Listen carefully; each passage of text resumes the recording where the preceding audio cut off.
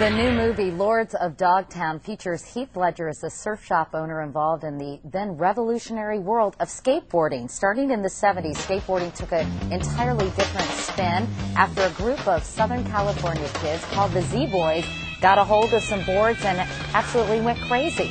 Heath Ledger, good morning. Nice to see you, Heath. Good morning. So tell me a little bit about this group of, of people and, and put it into perspective for us in terms of what they did and how they revolutionized this sport. Uh, yeah, um, I don't know. I guess you know they were just a bunch of kids at first who, uh, uh, you know, were looking for an alternative uh, form of surfing. Right. When, when there was no waves, they they grabbed their skateboards and they they they would ride the concrete as if it was a wave. Um, And they were a pretty hard scrabble group of kids from Venice, Yeah. California, you know, pretty rough around the edges, right?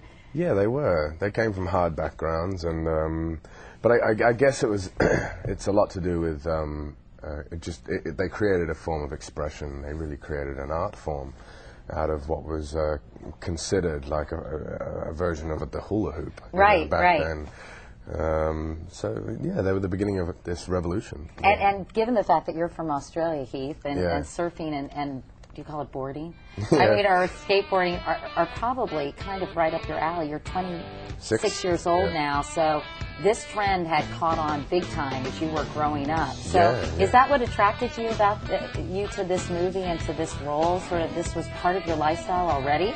Uh, yeah, definitely. I, I, I guess you know I, I have a built-in appreciation for surfing and skating, having come from Australia, um, but also for this period and and the people that the story uh, is about. I you know I grew up reading about them. I, I read Skateboarder magazine, so I knew all about Stacy Right. Peralta and Tony Alva and, and Jay Adams and. Uh, The whole Yeah. posse. Yeah. And you, you played this uh, guy named Skip Engblom. Emblem, yeah. En- Engblom, Emblem, right? Right? yeah. Emblem. Yeah. And he's a surf shop owner, right? Yeah. And he's kind of the, the senior member of the crew, right? Was that a little weird so. for you to play kind of uh, an older character with a lot of young actors?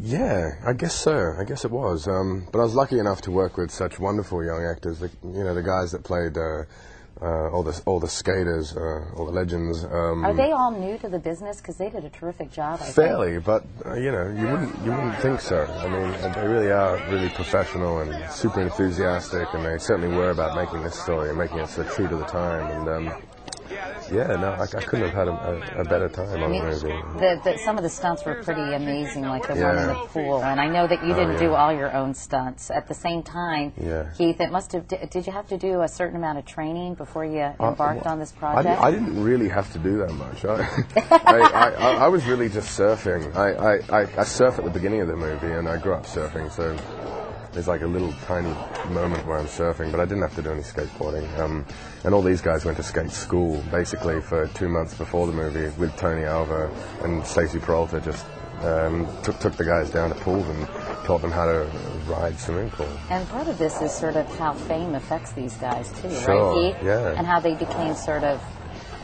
I was going to say the bee's knees, but that really dates me, doesn't it? but they became incredibly popular and successful in kind of how it affected the dynamics It, of the it group, also right? the fame also took um, something that they considered to be just a, an, an art form and, and something that they did on an everyday basis, and, and they it, fame kind of uh, it added competition between them, where they were once a group, they all get you know torn apart. Meanwhile, the separated. director of this movie, Heath, is, is Catherine Hardwicke. Yeah. Which is sort of funny. I don't know why I was surprised that there would be a female director. Sure. Because it's sort of the ultimate buddy movie, and, and skateboarding isn't all that popular among women, unless Yeah. I'm, I'm wrong here. So, so there. what, was, what was it like to, to be directed by her and by someone who did something as gritty as 13? 'Cause That was a pretty intense movie. Yeah, um, she's fantastic. and She uh, she was she's is and was and is perfect for, for the job. She uh, she surfs herself.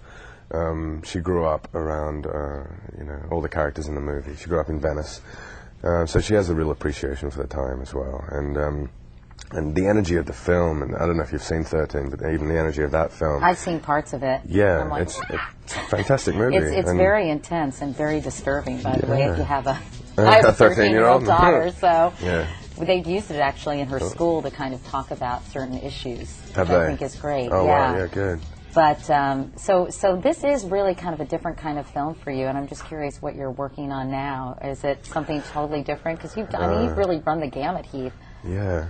Uh, right now, I'm not doing anything. I uh, since Dogtown, I, I've um, I kind of been off everywhere. I made a few different movies here and there, and uh, and now I'm just uh, taking some time off. Just, chilling. Just gonna live. Yeah. yeah. Well, Heath Ledger, it's always good to see you. Thank you. Thanks for coming by. And the movie is Lords of Dogtown. Good luck with it. Yeah. Thanks.